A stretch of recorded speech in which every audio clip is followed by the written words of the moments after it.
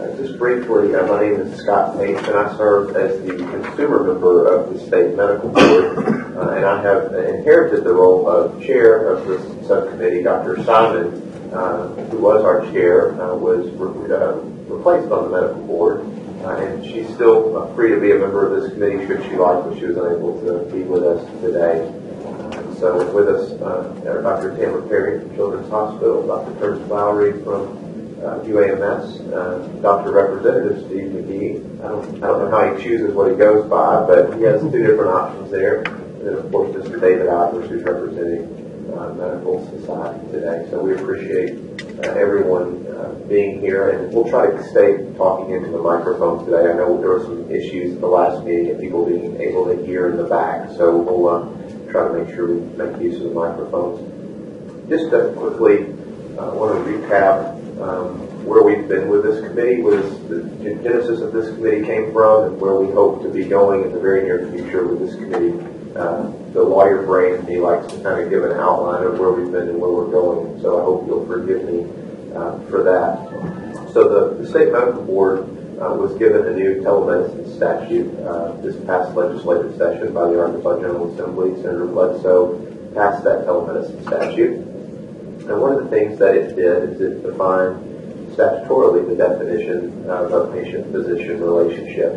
Uh, but in that uh, statutory definition, it also gave the uh, state medical board the authority to broaden that definition uh, as it saw fit. And so the board, reacting to the new statute that was uh, given to us by the legislature, created this subcommittee uh, as a means of vetting out what uh, an expanded version of a patient-physician relationship could look like. And so that's really what the, charge of this committee has been for the last two meetings is to say how do we uh, do our core mission, which is to protect the public public health as the state medical board, but also uh, recognize that uh, telemedicine uh, is a route of practice that's available, uh, and technology is expanding and growing. And how do we protect health while protecting access all at the same time? And incumbent in that is that a realization that there has been a lot of telemedicine that's been happening in Arkansas for a great number of years. We've had teleradiology, telepathology, uh, tele-ICU monitoring. Um, Dr. Lowery uh, has pioneered um, uh, teleneonatology. Is that, is that a right phrase? Kind of high risk OB with, with the Angels program. And those have all been very unique sets of, of telemedicine where you've had um, subspecialists on the end of the line, but you've also had um, either mid-levels or physicians who have prescription authority on the opposite end, on the origin side and then on the destination side.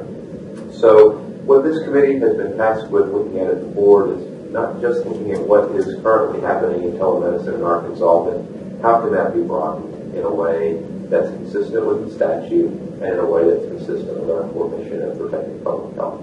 So the first meeting that we had was a, an open dialogue of all of the members of this committee who were selected by the state medical board uh, to hear input and expertise on uh, different methods of telemedicine that are happening and what people's professional opinions were regarding telemedicine. And that was a good dialogue, a lengthy dialogue for those of you who were, who were here, but it produced some really good comments. Um, and after that meeting, we uh, decided that we wanted to hear from the, the, public, and that public is a pretty broad public when it comes to who are the stakeholders in telemedicine. We've certainly got patients that are stakeholders. We have employers who are stakeholders. Um, we have uh, payers such as insurance companies and self-insured companies that are stakeholders. Uh, and then, of course, we've got telemedicine vendors, the technology vendors, and ultimately the providers. So there's a, there's a big pool of stakeholders that we wanted to receive comments from, and we solicited written comments, received those, uh, and went over those uh, at length at our last meeting. Uh, and, uh, and, while it was a little lengthy to do so, I think it was good to make sure that everyone's comments were uh, aired in an open fashion so that folks could hear what every respective group had to say.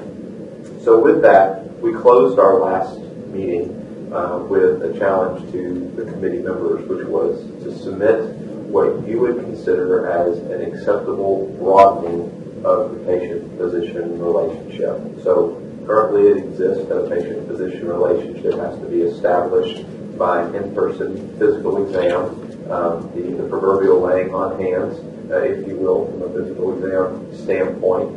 If you could run that, which the board has the regulatory authority to do uh, pursuant to the statute that was passed this past session, what is something that would be acceptable to you as a committee member? So that's where we left off the last meeting, uh, and that's really where I want to pick up this meeting. Is that is, does anybody want to add anything to that from the committee? An okay summary of where we've been?